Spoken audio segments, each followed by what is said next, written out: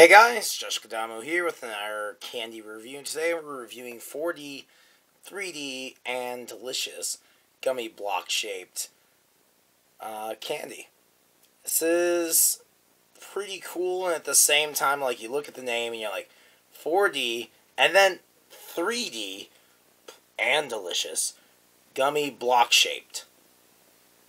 It doesn't say candy, it just says gummy block shaped. But don't worry, it's gluten free. Build your sweet art. Share, play, and delicious. This has a very Chinese, poor English kind of feel that uh, makes me nervous about eating this. By the way, this came from a dollar store. I haven't seen this at most dollar stores, but there was one uh, major ingredients corn syrup. Ooh. Best by 070220. Looks like uh, as long as we eat this by 2020, we'll be alright. Open it up. We've got, uh, let's see, how many pieces do we get? Let's say, I thought it said, but, uh, no. 3.5 servings, 5 pieces. That does not break down quite easily. Should be 15, 16, 17. So they're soft. Yeah, I basically feel like gummy worms. We've got the little tubes of your classic Legos. We're going to just see if these, uh...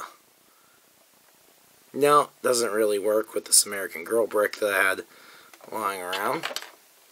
It does work with itself apparently we can build a penguin, crocodile, or giraffe.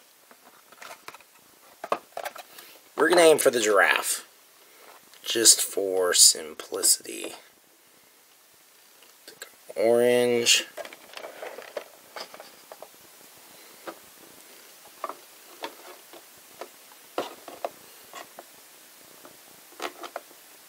I don't think we have necessarily all the colors that one is expecting.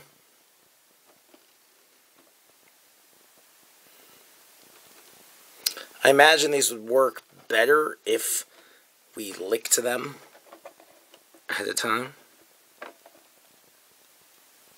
And they would stick better. Because if I just pick this up, that doesn't work too well.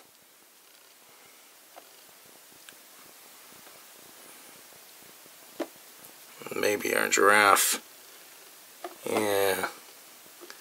Smaller back legs. They're sticky just a little bit, so I'm going to have to clean my uh, review set later. Don't fully understand how this giraffe goes together.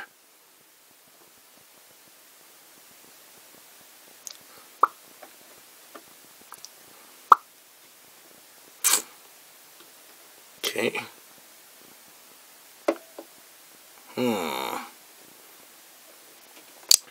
So they'd be a brick short of the right color. And uh, eyeballs are not included. I can go with that licking idea. Nope, that just made it more slidey. What? Means I get to eat one. Well. Concept-wise, this is kind of fun, I have to say. Um, oh, function-wise, leaves a little bit to be desired. like I said, they're basically gummy worm bricks. Um, orange tastes like orange. It tastes like gummy worms. It's still gummy block shaped. And no word for candy. So that makes me nervous. you can see I came pretty close to building a giraffe. And then he uh, exploded. Just kind of self-destructive. We'll try one of these uh, darker bricks. Maybe the elephant would work better. It's like his trunk supports him. Though I certainly didn't have that many of these colored pieces. Penguin might have been an option. It'd be fun if there was a little piece that had like a candy eye on it or something.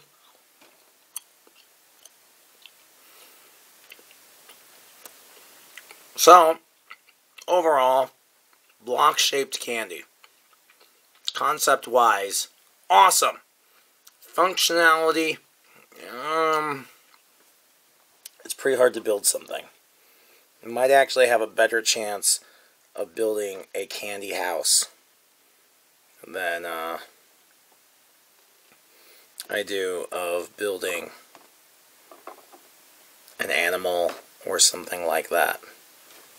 It's fun though. It, they they look a lot of fun. Your longest brick is actually three long, not four long. Oh, uh, come on, Candy House. I almost had you. I give up.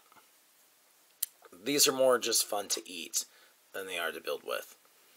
It's kind of like eating Legos. They're clear.